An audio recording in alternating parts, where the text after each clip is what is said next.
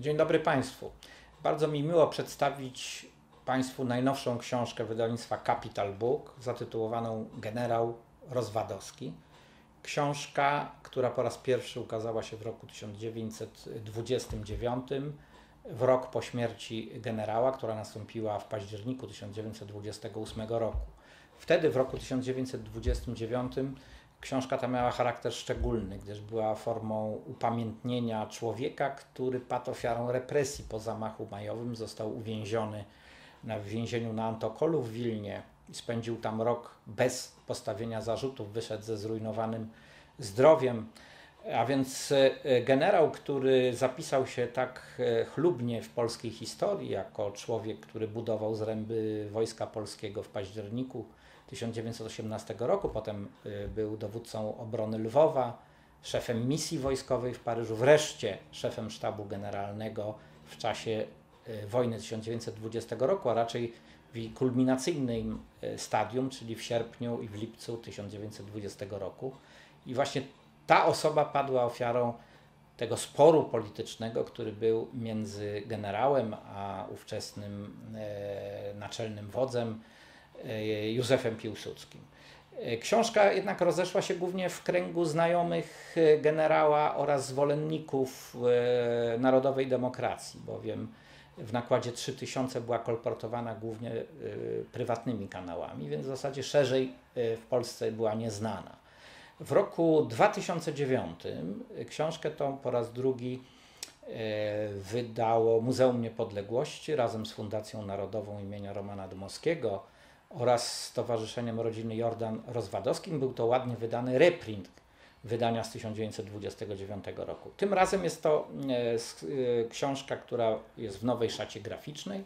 Tutaj bym przedstawił Państwu okładkę, na której widzimy portret generała Rozwadowskiego niedawno ujawniony, to są ze zbiorów Biblioteki Narodowej. Przedstawia on takiego właśnie generała, jakim był w mundurze Wojska Polskiego właśnie w roku 1920. Y, ten portret był przez niego podpisany własnoręcznie. Y, mundur generała broni z jednym tylko orderem Virtuti Militari, a więc jest to jakby oddaje wygląd generała w tych kluczowych dla Polski tygodniach sierpnia 1920 roku. Chociaż książka ta nie jest poświęcona tylko wojnie 20 roku, tylko przedstawia cały życiorys generała, łącznie również ze wspomnieniami rodzinnymi oraz z tragicznym końcem, który przypomnę miał miejsce właśnie w roku 1928. Dlaczego właśnie generał Rozwadowski jest ważną postacią w tych obchodach, które w tej chwili e, mamy miejsce, czyli stulecia Bitwy Warszawskiej? Dlatego, że jego rola między 12 a 18 sierpnia, kiedy toczyły się decydujące boje na przedpolach Warszawy, e, była kluczowa.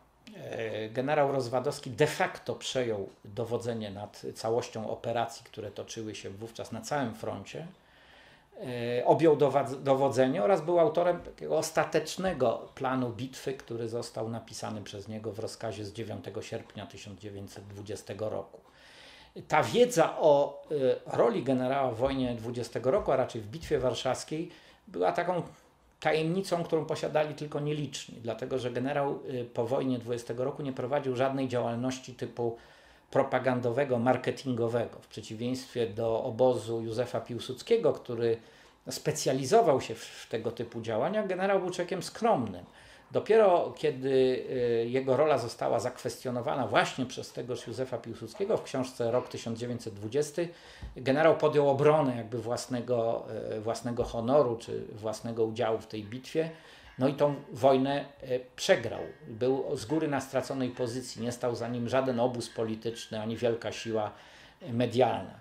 Także to, co w tej chwili robimy, wznawiając tą książkę, jest jakby formą pewnego zadośćuczynienia i, dalszego ciągu walki o pamięć i o prawdę nie tylko o tej postaci, ale również o tym bardzo ważnym epizodzie w historii Polski, jakim była e, Bitwa Warszawska. E, zachęcam do e, przeczytania książki. Osobiście jestem autorem obszernego wstępu, gdzie wyjaśniam wszystkie rzeczy związane z, życiorys, z życiorysem generała oraz kulisami Bitwy Warszawskiej.